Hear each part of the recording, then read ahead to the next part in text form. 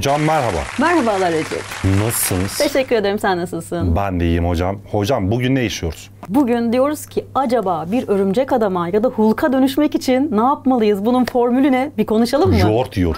Yoğurt yiyoruz. Çok ders çalışıyoruz. Evet. Kısa devre yapıyoruz beynimize. Evet. Şaka bir yana biz bugün mutasyon ve modifikasyon kavramlarından bahsediyoruz. Tamam. Gerçekten bu karakterleri yaratırken bilim kurgu yaratıcıları demişler ki işte genlerde bir değişiklik yapalım. DNA'da bir şeyler değişsin. Bu mutasyonlar da insanlara böyle inanılmaz güçler kazandırsın. İşte Demişler. sinirlendirdikleri zaman birilerini böyle büyük yeşil bir deve dönüşsün falan. Gerçek hayatta bu olabiliyor mu? Biraz ona bakalım. Diyelim ki bizim özelliklerimiz nereden taşınıyordu? Vücudumuzun neresinde bulunuyordu? Gen. Genlerimizde genler neredeydi? Hücre. hücremin içindeydi. O zaman ben DNA'mın böyle kendini eşlediğini falan eski videolardan hatırlıyorum sanki. Doğru. DNA kendini eşliyordu ki her bir hücreye yeni bilgi birebir aktarılsın. İşte o aktarım sırasında bazen problemler ortaya çıkıyor. Nasıl ki tahtadan bir şey yazarken bazen böyle hızlı yazıyorum, küçük atlamalar yapıyorum. Evet. Orada bazı sıkıntılar çıkıyor. O yüzden diyorum ki ben ilk başlığım yani mutasyon kavramına baktığımda önce şu DNA'mın genel yapısını bir hatırlayayım. DNA'mın şöyle karşılıklı gelen iki tane zincirden oluştuğunu hatırlıyordum. Biliyoruz biz bunu. Aynen.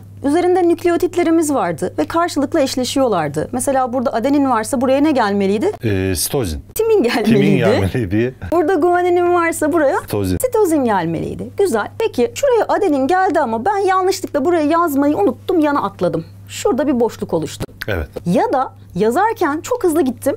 Karşılıklı iki tane boşluk oluştu. Evet. Hatta ben buraya bir tane adenin gelecek, şuraya bir timin yazacaktım ama yanlışlıkla iki tane timin yazdım.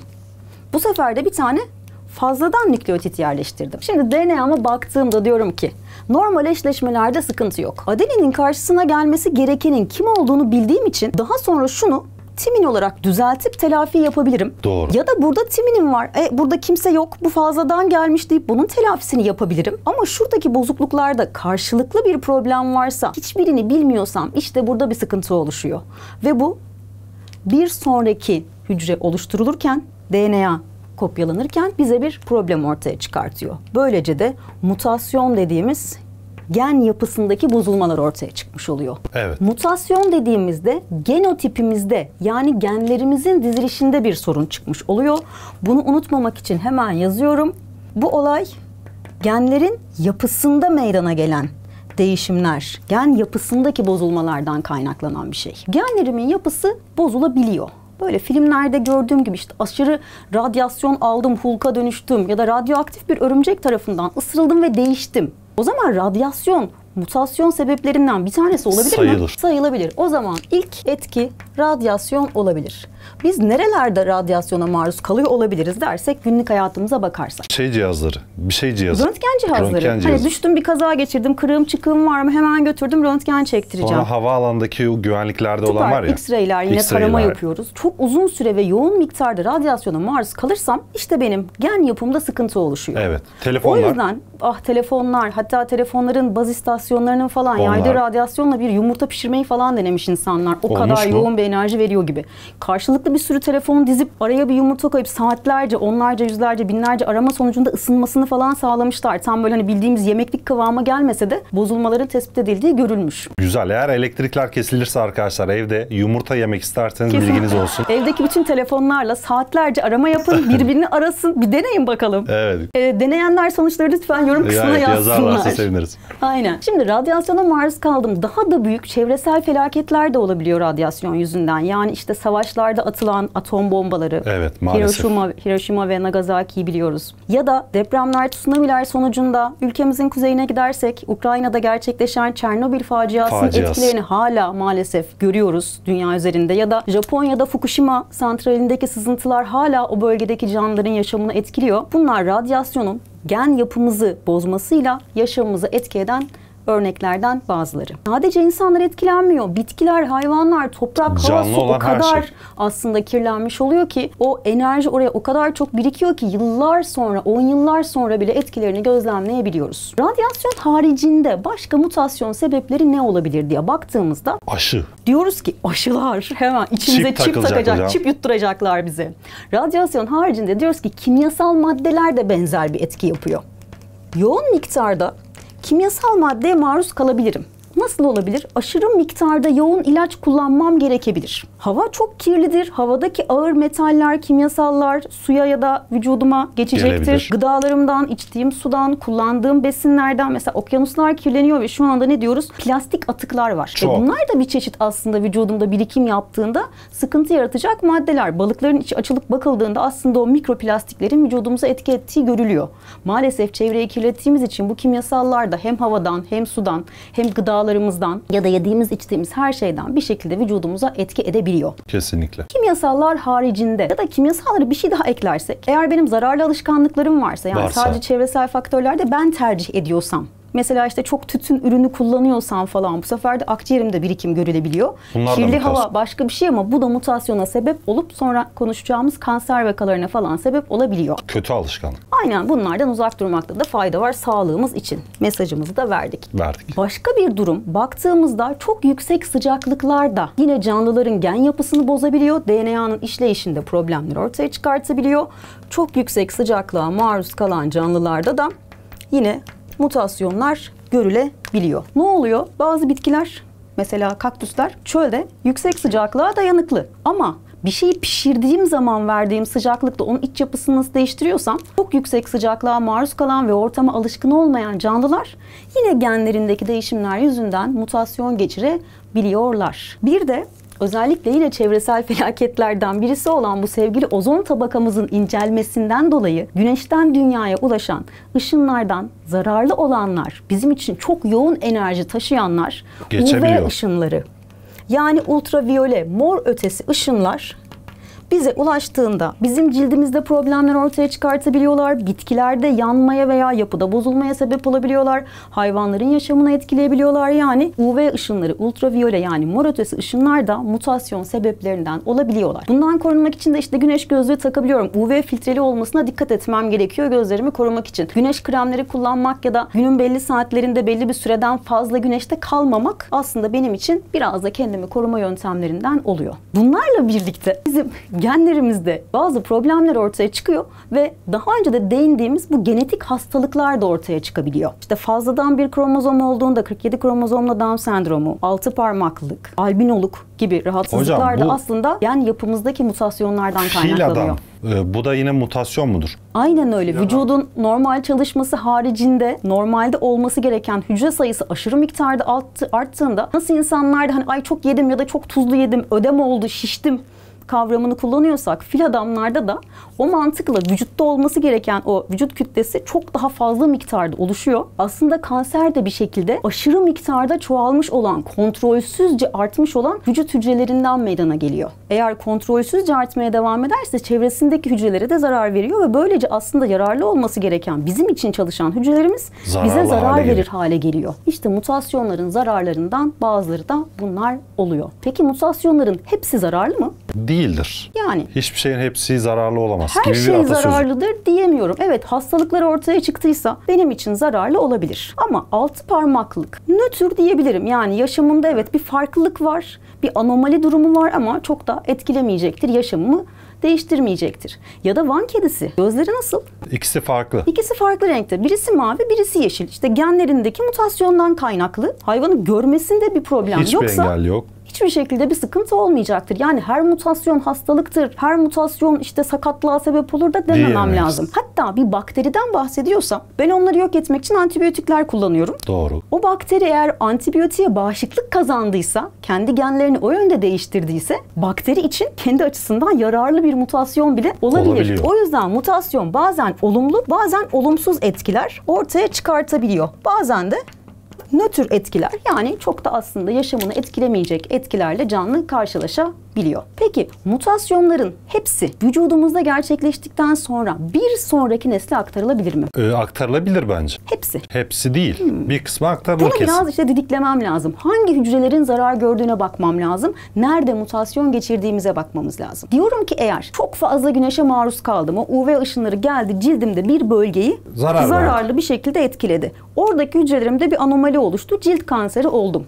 Ama Bence bu sadece aktarılmaz. Derimdeki hücreler etkilendiği için bir sonraki nesle aktarılmayacak. Yani vücut hücrelerimde gerçekleşen bir şey bir sonraki nesle taşınmayacak. İşte çok zararlı ürünler tükettim, akciğerlerimde birikim oldu, akciğer kanseri oldum. Sonraki nesle geçmeyecek. geç- Ama radyasyona maruz O kaldım. geçer hocam. Ve vücudumda üreme hücreleri zarar gördü. Yani yumurta ve sperm üreten üreme ana hücrelerinde problem çıktı. Onlar da yumurta ve sperm üretirken mutasyonlu problem yaşamış genleri bir sonraki nesle aktardılar. Aktarır. E bizi oluşturan yumurta ve spermde problem varsa doğal olarak o problem bize de aktarılır. Yani mutasyonlar eğer vücut hücrelerinde gerçekleştiyse kalıtsal değil. Üreme hücrelerini etkilediyse kalıtsal, Kalıtsal. olduğunu söylüyoruz. Zaman geriye aksın.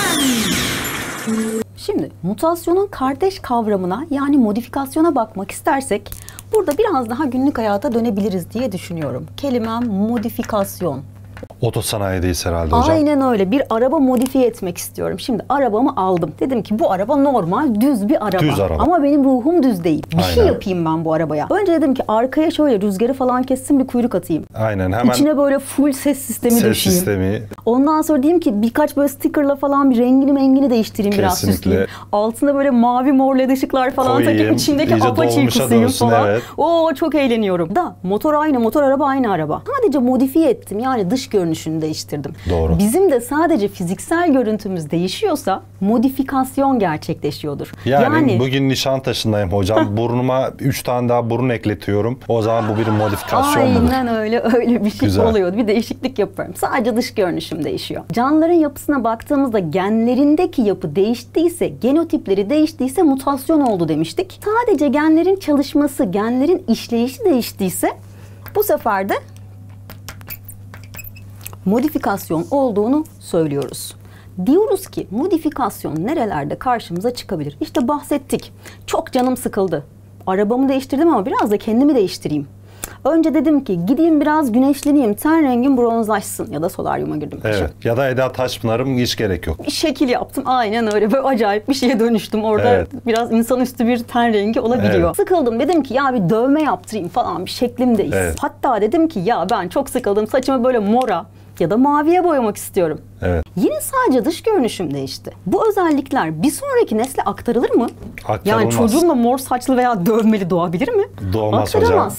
Sadece dış görünüşümde genlerimin çalışmasında bir değişiklik yaptım. Yani modifikasyon geçirdim. Modifikasyon örneklerine girersek ne demiştik? İşte ten rengimi değiştirdim. Ya da bu pandemi döneminde çok sıkılıyoruz, bol bol atıştırıyoruz, abur cubur falan tüketiyoruz ya. Şişmanladık. Gittikçe kilo almaya başladım. Aşırı miktarda kilo aldım. Sonra dedim ki "Aa, bu bana hiç Olmuyor yakışmadı. böyle. Ben midemi komple aldırıyorum dedik. Hırs yaptım, deli gibi spor yaptım, fena ağırlık bastım He. falan böyle üçgen bir şeye dönüştüm. O da Bu modifikasyon. da modifikasyon. Yine Ve sonraki nesillere aktarılmayacak. Çocuğuma geçmeyecek. Hatta ben sporu bırakırsam, nasıl yemeği bıraktığımda kilo verebiliyorsam, sporu bıraktığımda ya da güneşe maruz kalmayı bıraktığımda da yine vücudum eski haline dönebiliyor. Bir kaza geçirdim. Bir uzvumu kaybettim. Yine vücudumdaki genlerin iç yapısı değişmediği Asla için bu değişmedi. özellik yine çocuğuma geçmeyecek. Sadece dış görünüşüm değişecek. Bitkilerden bahsedersem modifikasyon geçiriyorlar mı? Geçiriyorlar. Mesela çuha çiçeği denen bir çiçek var. Böyle 15-25 derece civarında tutuyoruz çiçeği. Bir süre sonra çiçeklerin kırmızı olduğunu görüyoruz. Çiçeği alıp 25-35 derece sıcaklığa biraz daha sıcak bir ortama götürüyoruz. Zaman geçiyor. Yeni açan çiçeklerine bir bakıyoruz ki beyaz olmuşlar. Aslında çok güzel. Güzel değişiklik. Aynı çiçek farklı Aynen. şekillerde kullanabiliyorum. Ya da bazı bitkilerin toprağındaki pH yani asitlik bazlık seviyesini değiştiriyorum. Asit olduğu zamanlarda daha kırmızı çiçekler açarken daha bazik bir toprakta bu sefer mavi çiçekler açtığını görüyorum. Aa diyorum ne güzel aynı çiçek ama işte topraktaki oranlar etkiliyor. Güneş ışığı, beslenme, çevresel sıcaklıklar, işte pH seviyesi, çevresel şartlar ya da dışarıdan gelen etkilerle genlerimin çalışması değişti, modifikasyon geçirdim. Başka nerelerde bunun örneğini görebiliriz? Günlük hayattan şöyle bir hayal edersek. Nereler? Nereler olabilir? Olabilir. Çevremizde gördüğümüz kısa değişiklikler, geçici farklılıkların hepsini modifikasyon olarak sayabiliriz. Aklınıza gelen örnekleri yorumlara yazsanıza. Mutasyon, modifikasyon, şu da olursa ne olur falan Evet gibi. hocam, çünkü ben tıkandım. Alalım, tıkandık. Peki, Evet. Recep'e yardımcı olmak için yorumları bekliyoruz. Evet. Dediğimiz gibi günlük hayattan aslında bir sürü örnek var. İşte çok spor yaptım, boyum uzadı, kaslarım gelişti. değiştim. Ya da yaşlandım, böyle iyice Yaşlandım, kısaldım. O biraz aslında şey yaşla ilgili bir değişim, o anlık bir değişim olmuyor. Değil, evet. Sonraki nesle aktarılmayan genlerimizin sadece çalışmasında etki eden faktörler. Ya da hocam ben yaşlandım saçlarım beyazladı ve öldüm. O arada çocuğum oldu bu arada. Saçlarım beyazken çocuğumun saçı beyaz mı Beyaz olacak? olmayacak. Çünkü senin genlerinde aslında hala ne var? Kahverengi saç geni var. Evet. Gerçi sende sarı saç, mavi göz Evet. falan var onu biliyoruz Tabii hocam, hepimiz ama evet. yani örnek olarak ortalama bir insandan bahset. Dedim ki genlerimin yapısı, işleyişi sonraki nesle geçecek. Ben artık o renk pigmentlerini üretemediğim için benim saçlarım beyazlıyor olacak ya da saç üretemediğim için saç miktarım Evet. azalıyor olacak. Bambaşka bir durum Yoksa olacak. çocuk kel çıkmayacak yani. Değil mi? Yani ilk başta belki ama sonra saçlar Geliyor. oluşacak. Canlılara baktığımda doğada karıncalar ya da arılarda çok ilginç bir şey görüyorum. Nedir o? Arılarda larva aşamasından çıktığında dişi arıları farklı besliyorlar. Kovana bir tane kraliçe yeter. O yüzden propolis dediğimiz bu özel arı sütüyle beslenen dişi arı kraliçe arıya dönüşüyor. Ama normal çiçek tozuyla polenle beslenen arılar işçi arı oluyor. Düz, kuru Düz, ekmek. küçük, minik, ufaklık böyle ayak işlerine bakan, her şeye koşturan, her şeyi yapan vefakar analarımız gibi falan. Her şeye koşan arı. dişi arılar, işçi arılar oluyor. Yani beslenme şekli de aslında arının nasıl bir yapıda olacağını gösteriyor. Bu da yine bir modifikasyon örneği oluyor. Güzel. Çevreye uyum sağlayan canlılar, vücutlarındaki etkilerle değişime uğrayan canlılar, dış etkilerle modifikasyona uğramış sayılıyorlar. Şimdi bu konular üzerinde konuştuk. Ama böyle hani sorularda nasıl çıkar? Ne olursa mutasyon, ne olursa modifikasyon demeliyiz. Nasıl ayırt ederiz? Bunu birazcık daha oturtmak istiyorum. Soru çözsek olur mu? Hemen hocam geçelim. Evet, fen bilimleri dersinde öğretmenimiz tahtaya bir DNA molekülü çizmiş. Öğrencilerden de deftere geçirmelerini istemiş. Öğretmen kontrol ederken öğrencilerden bir tanesinin dikkatsizlik yaptığını görmüş. Aynı ben. Hızlı gidiyorum, yanlışlık yapıyorum. Bana diyor ki öğretmen yazdı yazdı yazdı. Öğrenci defterine geçirirken şu bölgede bir problem yaşadı. Burada bir problem var ve her iki zincirde de sıkıntı var. Yani bir tanesi yanlış olsa diğerinde ne olacağını çözebilirdim ama ikisinde de problem varsa genlerimde bir problem oluştu diyordum. Gen yapımda, genotipimdeki problemlere de biz mutasyon ismini Veriyoruz. veriyorduk. Bana diyor ki mutasyon ve modifikasyonu daha iyi anlamak istiyorum. Birbirine karıştırmamak istiyorum. Bir tablo yaptım. 1, 2, 3, 4 diye numaralar koydum. Bir şeyler yazacağım ama hangisini yazmamalıyım? Hangisi yanlış işlem olacaktır? Değildir'e dikkat ettim. Birinci kutucuğa yani mutasyona genlerin yapısında meydana gelen değişimlerdir dedim. Mantıklı, genotipimde meydana gelen değişimler mutasyondu. İkinci kutuya yani modifikasyona genlerin işleyişinde meydana gelen. Evet bu da doğru. Üçüncü kutuya mutasyona sebep olan etken ortadan kalktığında canlı eski haline döner. Çok emin değilim. Ben buna bir soru işareti atarım. Genimin yapısı değiştiyse birdenbire eski halime dönme şansım zor gibi gözüküyor. Dördüncü kutucuk modifikasyon kalıtsal değildir. Ne demiştim? Saçımı mora boyadım. Çocuğuma mor saç geni aktarmayacağım. Yani kalıtsal değildir. Ama canlının eski haline döndüğünü iddia eden üçüncü seçeneğimiz yanlış oldu. Güzel. Hocam e, bu soruları nereden çözüyorsun? Bu soruları güzel, mutlu soru bankalarımızdan çözüyoruz. Arkadaşlar yorumlarda bazen yazdığınızı görüyorum. Kitaplar hakkında sorularınız oluyor. Biz bu sorularımızı bu kitaplardan çözüyoruz. Denemesi var. işte normal soru bankası var. Merak ediyorsanız aşağıda bir linkimiz var. Oraya tıklayıp bakabilirsiniz. Hocam bir sonraki videoda ne işliyoruz? Bir sonraki videomuzda şimdi öğrendiğimiz mutasyon ve modifikasyon kavramlarının kardeş kavramlarına gideceğiz. Varyasyon nedir? Adaptasyon nasıl olur? Doğal seçilim. Doğa beni nasıl seçiyor? Seni seçtim Pikachu mu diyor. Buna bir değineceğiz. Bakalım neymiş detaylarını öğreneceğiz. Güzel arkadaşlar bir sonraki videoda görüşmek üzere. Kanala beğenip abone olursanız seviniriz. Hocam görüşmek üzere. Görüşmek üzere.